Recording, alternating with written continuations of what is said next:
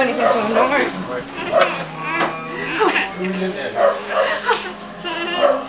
Who's that baby? Grandpa loves me. Thank you. Read the read the tag. Coming soon, baby. Oh! Ah!